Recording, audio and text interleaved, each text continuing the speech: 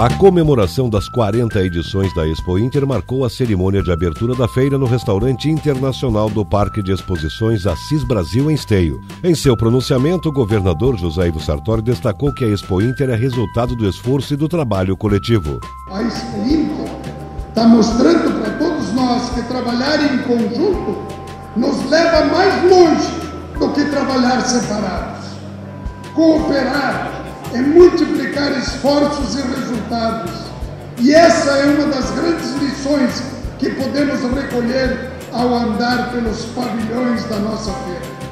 Assim como fez o campo, precisamos encontrar novas soluções para antigos problemas. Governador José Ivo Sartori oficializou o decreto que beneficia os produtores de leite do Rio Grande do Sul que enfrentam forte concorrência do produto em pó importado, principalmente do Uruguai. O anúncio foi feito durante encontro entre Sartori, o ministro da Agricultura, Pecuária e Abastecimento, Blairo Maggi, e dirigentes de entidades do setor. 14 policiais militares foram homenageados pelo governador José Ivo Sartori e o secretário de Segurança César Schirmer durante cerimônia no Palácio Piratini. Cerca de 500 cuidadores, tratadores e trabalhadores de fazendas que estão na 40 Expo Inter para cuidar dos animais se reuniram no tradicional Jantar dos Peões. A confraternização é oferecida pelo governo do estado por meio da Secretaria da Agricultura, Pecuária e Irrigação e parceiros do evento.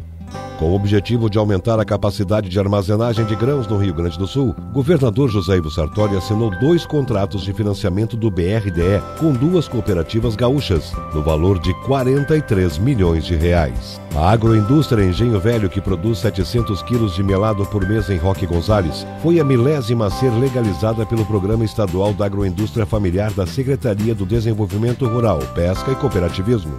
A aproximação e a parceria entre o governo do estado e as prefeituras foi celebrada no tradicional Jantar dos Prefeitos, realizado na 40 Expo Inter, o encontro contou com a presença do governador José Ivo Sartori e de aproximadamente 500 pessoas, entre prefeitos, autoridades, representantes de entidades e pessoas ligadas ao setor agropecuário. O Rio Grande do Sul passará a contar com delegacias de polícia especializadas na repressão aos crimes rurais e de abigeato. O decreto assinado pelo governador José Ivo Sartori cria as novas unidades em Bagé, Camacuã, Santiago, Cruz Alta e Rosário do Sul. Após superarem os adversários em provas e julgamentos, os grandes campeões da 40 Expo Inter receberam o devido reconhecimento. Neste ano, 120 animais, considerados os melhores em termos de genética, desfilaram na pista central do Parque Assis Brasil. Os resultados da 40 Expo Inter mostra a agropecuária considerada uma das maiores do gênero na América Latina, foram apresentados pelo secretário da Agricultura, Pecuária e Irrigação, Hernani Polo.